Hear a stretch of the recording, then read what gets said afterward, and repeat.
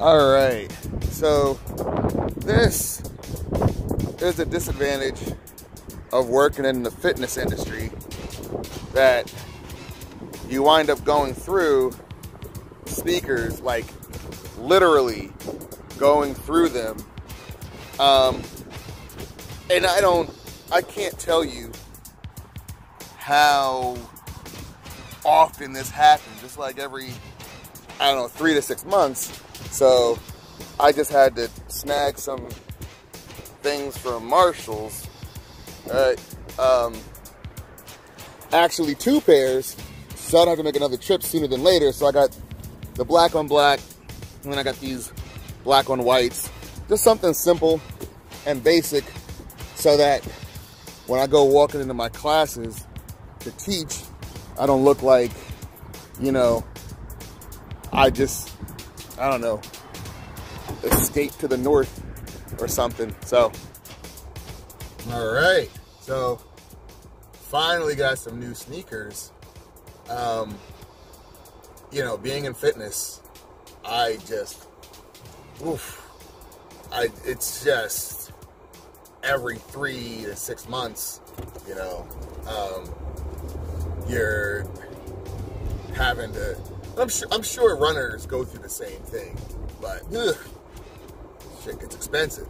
But, um, you know, I was surprised that I actually needed, because I usually have a couple of pairs of sneakers. And, um, part of this is being, me being kind of bougie. Or, or, well, not really. So, I had a pair of things, pair of sneakers that got worn out. And I had bought some I don't. I think I bought them. I don't know if I bought them online. Whatever. I bought a pair of like brand new like Reeboks or whatever, and I just never opened them. I think I had them joints for like half a year to a year because I just wasn't letting go of the other old sneakers. Um, yeah, uh, yeah. And then I had some other ones. I had some like all black Chuck Taylors. Uh, yeah, some all black Chuck Taylors, which I just don't like wearing because they're all black. I don't know. I thought they were gonna look way better than what they do, but when I have them on with my black socks, I just look like I'm wearing black socks, you know.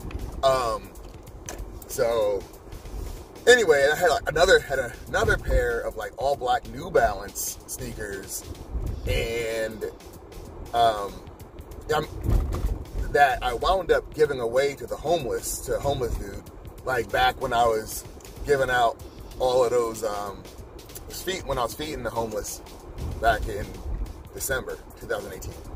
So that got rid of like one of my spare pairs.